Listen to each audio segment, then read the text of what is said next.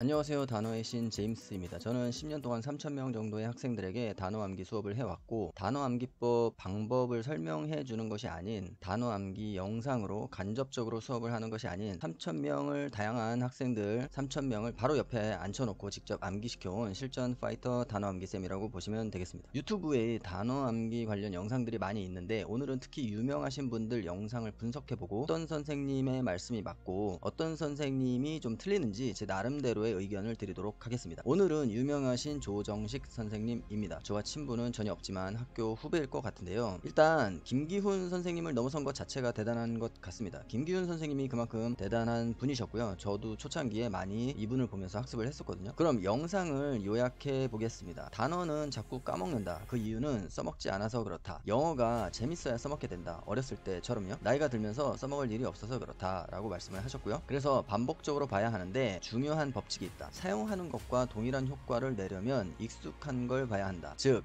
봤던 걸 또 보고 봤던 걸 또 보고 해야 한다. 사실 단어 전문쌤이 아니어서 구체적인 방법을 제시하는 것은 아니지만 이 부분에서 핵심적인 중요한 내용을 말씀하시는 것 봤던 걸 또 보는 것은 대단히 중요한 것이고요. 다른 말로 하면 누적 반복이 돼야 한다는 것입니다. 다른 분들도 그런 용어를 쓰지는 않아도 누적 반복에 대한 부분은 핵심이고 또 이게 중요한 이유는 학원도 학생도 학교도 매일 진도만 나가는 수업 숙제를 내주기 때문입니다. 이 부분이 매우 중요하다고 저도 동의를 합니다. 역시 고대네 구체적인 방법도 제시를 해주십니다. 즉 단어장 하나 하나를 정하면 끝까지 밀고 나가라. 아이들은 반대로 하죠. 학원이 바뀌면서 단어장이 바뀌고 시험이 끝나고 다음 시험을 준비하면서 진도가 바뀌고 계속 범위가 바뀌게 됩니다. 역시 공부해본 사람들은 압니다. 단어장 한 권을 10번 이상 보는 것이 매우 중요합니다. 그런데 현실에서는 학원을 바뀌고 시험 범위가 바뀌어서 매일 새로운 부분에 집중할 수밖에 없습니다. 학원에서는 매일 뭐 300단어씩 나간다 하면서 매일매일 새로운 단어만 계속 해주죠. 사람들은 중요한 것보다 급한 일부터 하니까요. 조정식 선생님은 처음 강의 때 개설 때 준 단어장으로 종강 때까지 간다고 합니다. 매우 현명하신 방법이고 꼭 필요한 방법입니다. 즉 같은 단어장을 봤던 걸 또 보고 봤던 걸 또 보고 또 보고 또 보고 하는 것입니다. 구체적인 방법들을 많이 제시하지는 않지만 심플하고 실용적이면서 핵심적인 내용을 잘 말씀해 주셨습니다.